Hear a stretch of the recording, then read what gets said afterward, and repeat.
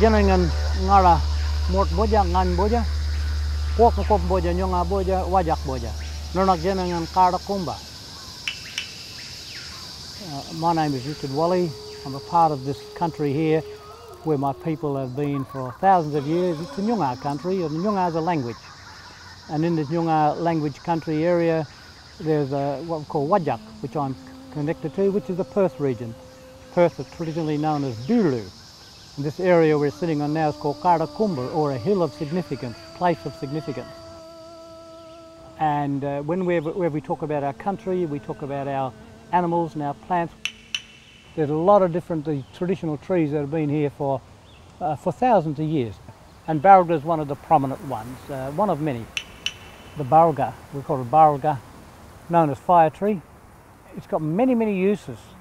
And it's also linked in right from the start from the dreaming stories. There's stories that are, that, that are told from the dream times that also have morals about them, that link things like birds, um, other, other animals to the plant, uh, as well as people.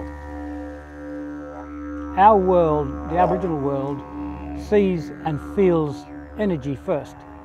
We feel a person's energy and see their energy and feel that energy.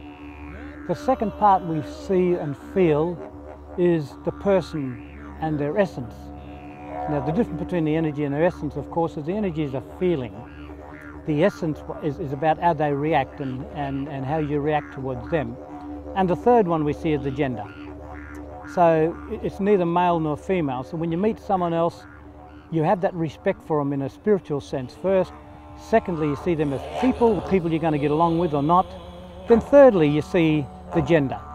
Whereas in the Western world, it's the other way around. The first thing you see is opposite sex. But in our culture, it, um, it goes beyond that. It, it's about the essence first. As we were kids growing up in the bush, the Balga was uh, very, very good to burn and it, will smoulder quite slowly and, and it also gave this nice aroma out about it. There was this, uh, I suppose you'd call it an allurement or, or a scent. Um, we call it akanya or the spirit or the attraction. What it does, if you once you apply it onto yourself, it reacts to the body.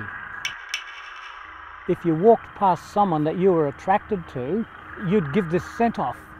So it's very animalistic and people knew when someone's attracted someone else. Well, this was our link to that animal essence by using the Balga.